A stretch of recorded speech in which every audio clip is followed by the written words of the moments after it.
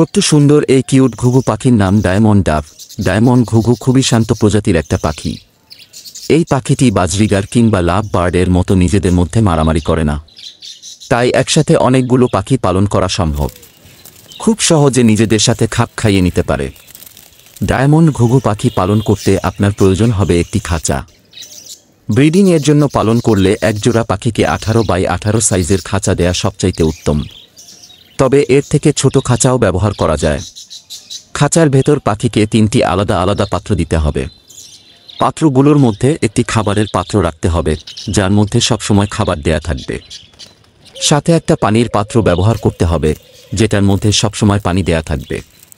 আর এগুলোর পাশাপাশি আপনার আরও একটা গ্রিটের পাত্র দিতে হবে। এই সমস্ত পাত্রের পাশাপাশি পাখিকে ডিম বাচ্চা করার জন্য একটা করে মাটির মটকা দিতে হবে। বাসা তৈরির জন্য এদের খাঁচার ভেতর কিছু শুকনো ঘাস কিংবা খড় দিয়ে রাখতে পারেন। প্রয়োজন মতো ওরা নিজেরাই বাসাটা তৈরি করে নেবে। সাধারণত পাঁচ থেকে ছয় মাস বয়সে ডায়মন্ড ঘুঘু অ্যাডাল্ট হয়। এ সময় এরা ডিম বাচ্চা উৎপাদন শুরু করে। ডায়মন্ড ডাভ আমাদের দেশীয় কবুতর কিংবা ঘুঘু পাখির মতো দুইটা করে ডিম দেয়। ডিম ফুটে বাচ্চা হতে সময় লাগে পনেরো থেকে বিশ দিন। এই সময়টাতে মা ও বাবা উভয় পাখি মিলে ডিমে তা দেয়। বাচ্চা জন্মের পর থেকে প্রথম দুই মাস মা ও বাবা পাখি এদের মুখে তুলে খাইয়ে বর করে।